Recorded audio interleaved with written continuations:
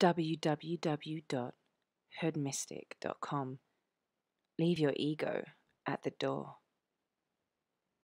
You know, I the first need to go last. You feel me? The first shall be last. So Aries, March horoscope. Aries, March horoscope. Sun sign, moon sign, rising sign, Aries. What is the business? What are we talking about? Aries, it's time to draw on all of your resources and enjoy the moment. Things won't always be this good, so take some time to really enjoy the moment. Once you reach your goals and things of that nature,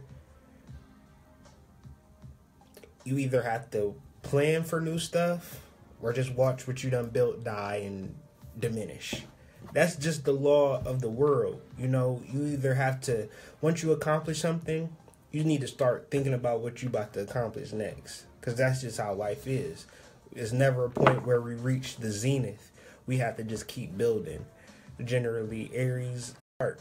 So generally, they'll get finished first and they'll be like, "All right, guess I'll just have a drink or something and just wait for these niggas to catch up. No, Aries, keep building.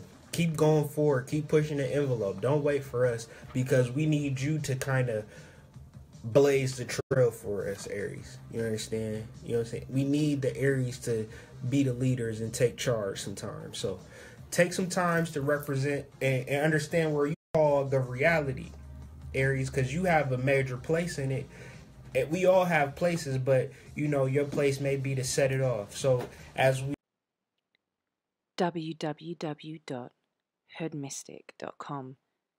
Leave your ego at the door.